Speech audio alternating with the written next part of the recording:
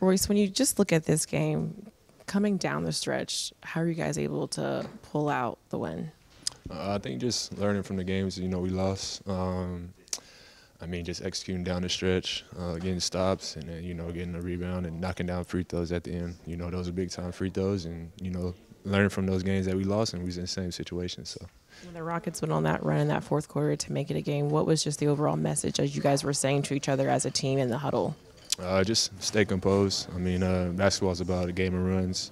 I mean, we knew, you know, they were going to make a run. It was just a matter of time. And then, you know, just sticking with our principles and, you know, getting the win down the stretch.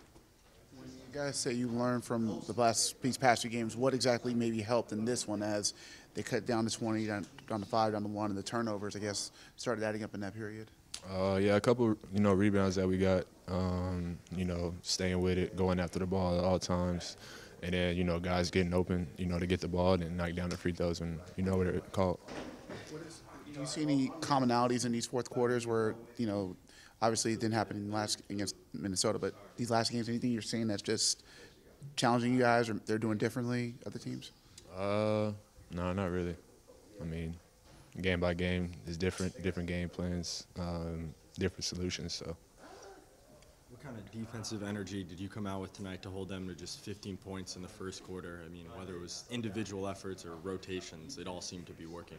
Yeah, I think just us being connected as a team, uh, communicating, you know, locking in on the defensive end, getting stops when we need it, and then you know that helps out on offense. We can, you know, get easy transition baskets, and you know, boosts everybody confidence. Do you think this team has a designated closer, or is it more of a you know ride the hot hand down stretch kind of deal?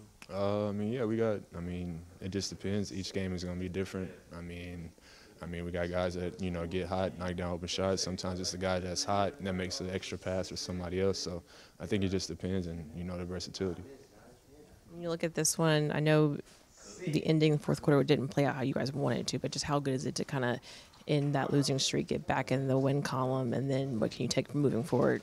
Uh, I mean, it feels good. I mean, uh, you know, it was a tough stretch for us. I mean, we just stayed together, stayed with it, and you know, took it game by game until we got one, and then just build on it from here on out.